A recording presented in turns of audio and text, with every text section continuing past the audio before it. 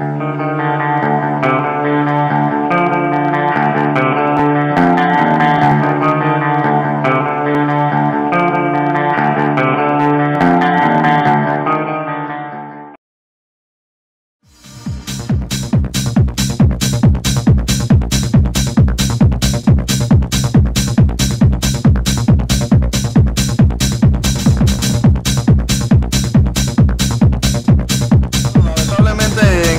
semana hemos tenido dos compañeros fallecidos. El primero el día lunes, el compañero Eimer Espinosa, trabajador del grupo Cobra en hidráulica de Río Piedra, producto de los fuertes aguaceros, se da un desprendimiento, pero más sin embargo dentro del área no se contaba con ninguna señalización en materia de seguridad que explicara el tipo de riego que se presentaba en esa área.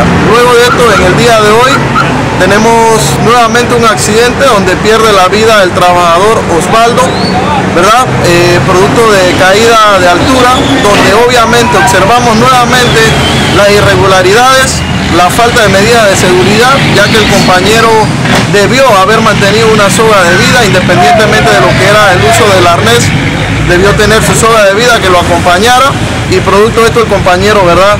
Se da al vacío. Eh, precipitándose al suelo y perdiendo la vida instantánea. Eh, la situación dentro de los proyectos de la empresa Cobra se mantiene paralizada. Los siete proyectos que mantienen con nosotros están paralizados.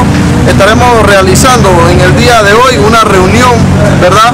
Donde se estará discutiendo un protocolo de seguridad, el cual estará siendo eh, evaluado por nosotros, por el sindicato. Estaremos verificando el protocolo y dando el visto bueno. En el día de mañana estaremos realizando inspecciones masivas en todos los proyectos de esta empresa, los cuales se mantendrán paralizados hasta que hagan los correctivos necesarios. Eh, ¿Qué papel ha jugado el Ministerio de Trabajo con relación a este último hecho?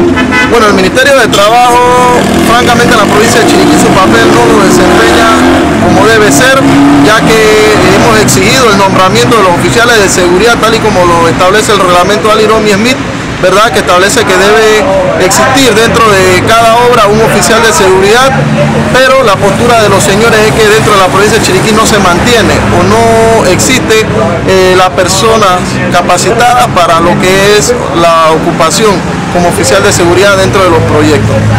Eh, entonces, esto quiere decir que el, proyecto en que se ha dado los accidentes se mantendrá paralizado hasta segunda orden. Bueno, el proyecto donde falleció el trabajador obviamente se mantiene paralizado. Los siete proyectos que mantenemos con esta empresa también eh, y permanecerán paralizados hasta que los correctivos sean tomados y las condiciones sean corregidas. Muchas gracias.